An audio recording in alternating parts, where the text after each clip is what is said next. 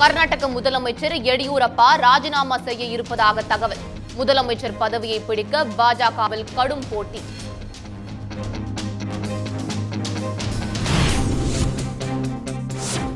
குன்னூரில் auto ambulance சேவை வழங்கும் பெண்ணுக்கு பிரதமர் மோடி பாராட்டு. மலைவாழ் மக்களுக்கு மருத்துவ சேவை கிடைக்க உதவுவதாக புகழாரம்.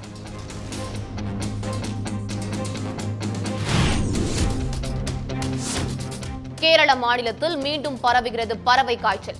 கொத்து கொத்தாக கோழிகள் உயிரிழந்ததால் பரபரப்பு.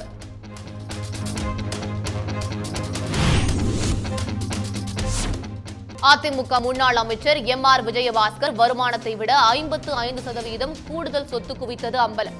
மனைவி சகோதரர் பெயரில் சொத்துக்கள் பற்றியும் லஞ்ச ஒழிப்புத்துறை முதல் தகவல் அறிக்கையில் பரபரப்பு தகவல்.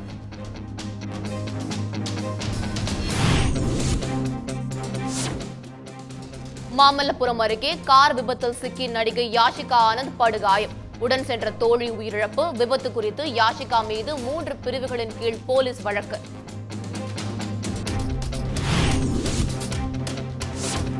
உபரி நீர் திறப்பால் ஒகேனக்கலுக்கு தண்ணீர் வரத்து அதிகரிப்பு.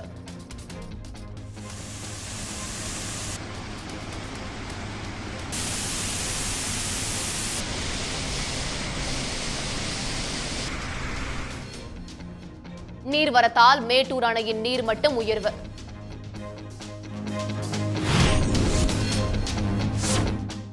நூறு அடியை எட்டுகிறது பவானி சாகர் அணையின் நீர்மட்டம் கரையோர மக்களுக்கு வெள்ள அபாய எச்சரிக்கை.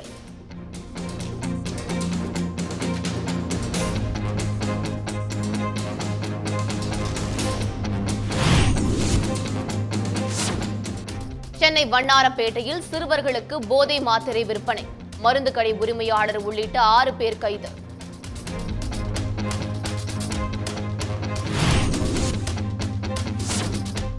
ஓ பன்னீர்செல்வம் டெல்லிக்கு திடீர் பயணம். பிரதமர் உள்துறை அமைச்சரை சந்திக்க நேரம் கேட்டுள்ளதாக தகவல்.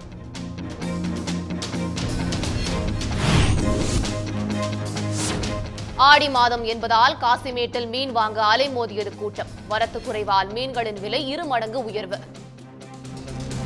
உடனுக்குடன் செய்திகளை தெரிந்து கொள்ள சன் நியூஸ் பெல் ஐக்கான கிளிக் பண்ணுங்க.